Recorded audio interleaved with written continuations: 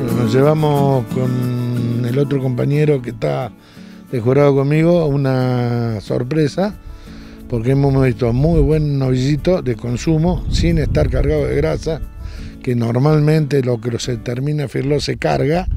Bueno, acá no encontramos grasa, encontramos excelente calidad y encontramos un novillo de un año y medio con 560 kilos, eh, con una precocidad espectacular. La verdad, eh, la hacienda que se ha encerrado es muy, muy buena. Te vamos a aprovechar porque vos sos quien tiene esa decisión final para la que todos los productores trabajan, para que le demos algunos consejos a ellos.